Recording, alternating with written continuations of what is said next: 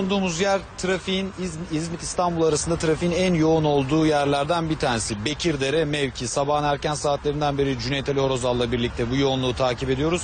Akşam saatleri geldikçe yoğunluğun biraz daha arttığını söylemek lazım ama şunu da altını çizelim. Bir yandan Cüneyt görüntüleri getirirken ekranlara binlerce aile İstanbul'dan ayrıldı bayram tatili için. Anadolu'ya gitti, Ege'ye gitti, Akdeniz'e gitti. Araçla gidenler tabi İstanbul'un giriş noktası İzmit burada buluşuyorlar bu yolda buluşuyorlar.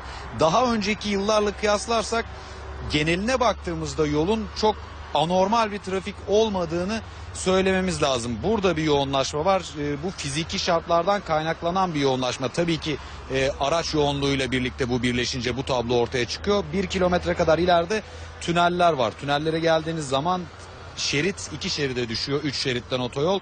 O nedenle yaşanan ve yaklaşık buradan 10 kilometre kadar geriye giden bir yoğunluk göze çarpıyor. Buradan daha ileri gittiğimiz zaman bir 20 kilometre ileride Dilovası'na geliyoruz. Orada da Körfez Geçiş Köprüsü'nün bağlantı yollarının çalışması nedeniyle e, bir şerit daralması var. Dilovası'nda da orada yokuşta Dilovası yokuşunda da rampasında da yine bir yoğunluk olduğunu görüyoruz.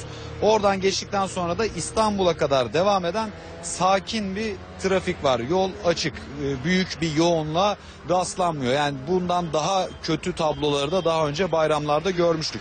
Peki e, feribotlarda durum nasıl? Yalova İstanbul arasında, Topçular Eskihisar arasında. Orada da 4-5 saattir devam eden bir yoğunluk var. 19 sefer, 19 tane feribot çalışıyor e, Topçularla Eskihisar arasında.